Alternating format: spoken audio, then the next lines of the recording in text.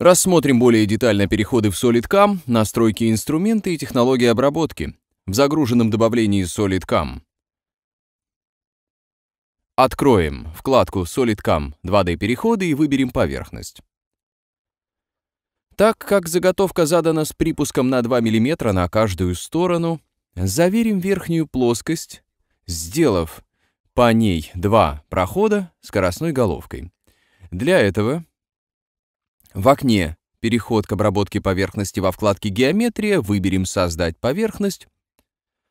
Слева на месте древа построения откроется диалоговое окно создания поверхности, базовой геометрии выберем рамку, а в кипе выберем контур. После чего во вкладке «Базовая геометрия», нажав кнопку «Задать», выберем добавленный ранее параллелепипед, который является моделью физической заготовки. После того, как эскиз замкнется, подтвердим выбор. Когда геометрия выбрана, ее очертания будут подсвечены желтыми линиями, по умолчанию все выбранные геометрии проецируются на плоскость, в которой лежат нулевые координаты по z, а глубина обработки будет задаваться относительно верхней плоскости. Подтвердим выбор геометрии. Зададим инструмент, перейдя во вкладку «Инструмент», в окне «Переход обработки поверхности» нажав кнопку «Выбор». Добавим скоростную головку диаметром 60 мм. Сделать это можно, нажав на нажав фрезерный инструмент, выбрав торцевую головку и введя необходимый размер. Либо, если в списке инструментов уже присутствует необходимое обрабатывающее средство, можно просто нажать на него и подтвердить операцию — Таким образом, заданный ранее инструмент будет использоваться для указанной ныне операции. Подтвердить выбор можно, нажав на зеленую галочку. В нижнем правом углу меню перейдем во вкладку «Уровни», зададим плоскость безопасности. Плоскость безопасности — это плоскость, через которую выводится инструмент после завершения операции. Также есть множитель безопасного расстояния, на который дополнительно будет поднят инструмент. Зададим верхнюю плоскость, в данный момент она тоже будет являться плоскостью, на заготовке. И глубина поверхности. В качестве глубины поверхности выберем верхнюю плоскость на детали. Таким образом, глубина поверхности станет 2 мм, после чего, поставив галочку «Применить равный шаг по Z», зададим шаг по Z 1 мм, получив таким образом два прохода инструментом для совершения операции. По завершению настройки перехода необходимо нажать «Сохранить» и «Выйти». Теперь в древе построения на позиции Mac-Agin появилась Первая операция. Операции при наличии нескольких нулевых точек можно переносить из одной в другую. Об этом мы расскажем немного позднее. Пока выберем контур и сформируем верхний выступ, будущий детали из тела заготовки. Во вкладке «Геометрия» выберем «Создать геометрию». В типе геометрии выберем плоскость и нажмем на грань нужной плоскости. Обратите внимание, SolidCam предложит замкнуть периметр плоскости, если выбор сделан правильно. В диалоговом окне необходимо нажать «Да». Если выбор сделан неправильно, соответственно, нужно нажать «Нет». При выборе плоскости красная стрелка, подсвечивающая грани, определяет направление движения инструмента при обработке.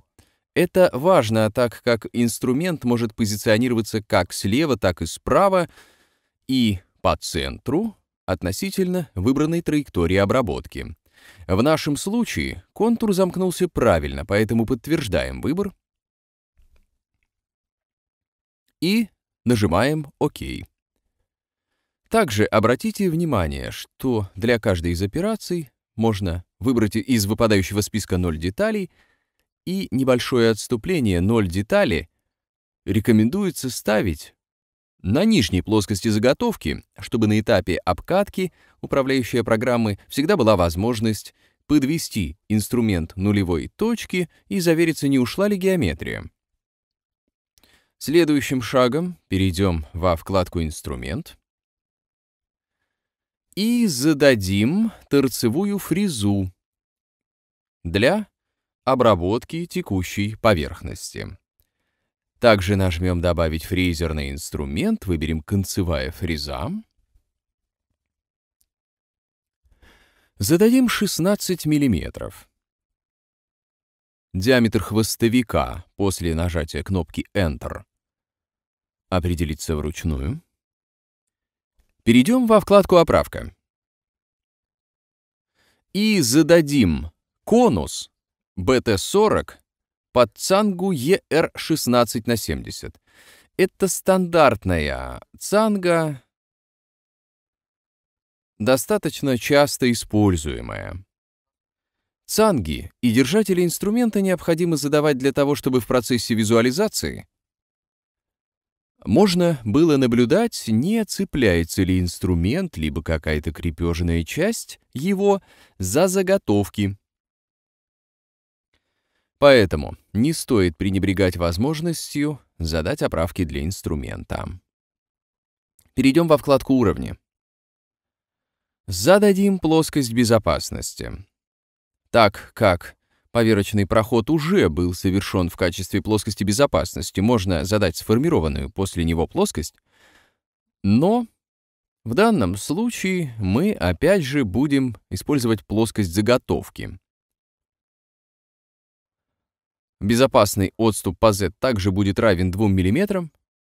Верхняя плоскость мы зададим как плоскость, сформированную предыдущим проходом, А для задания глубины контура выберем ближайшую к верхней точке плоскость. Перейдем во вкладку «Технология». Обратите внимание, в блоке «Модифицировать» геометрию можно менять расположение инструментов Напоминаю, что инструмент при выборе геометрии двигался справа налево.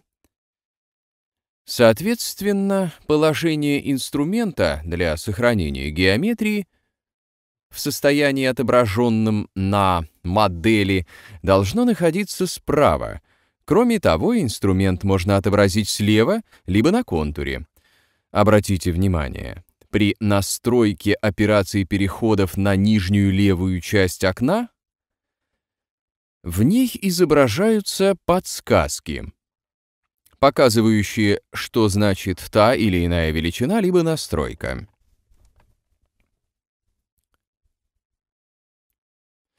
Также зададим спиральный заход. В тело заготовки, для этого в глубине контура – Выберем значение по спирали снизу.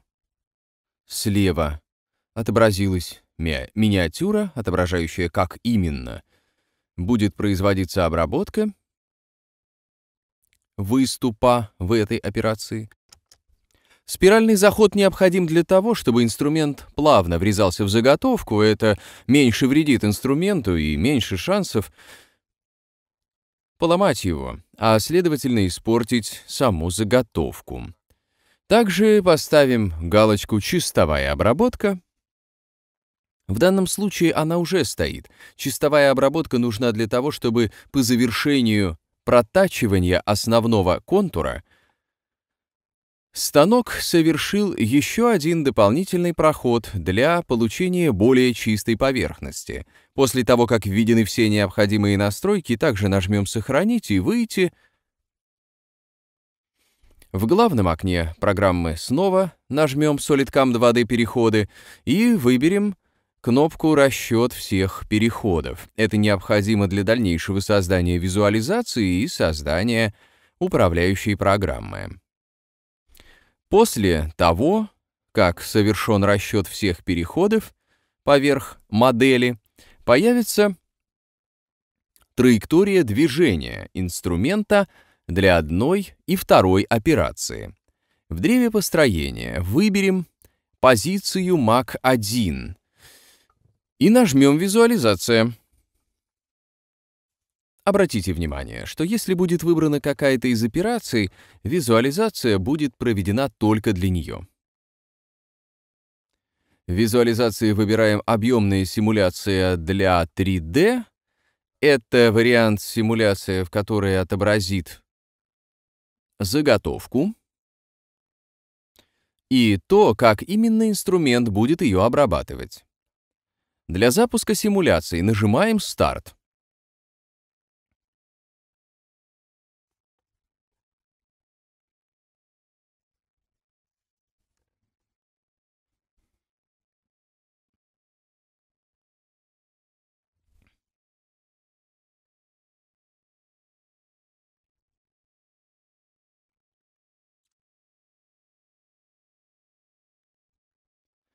После завершения визуализации и убедившись, что процесс обработки должен происходить без ошибок, так как если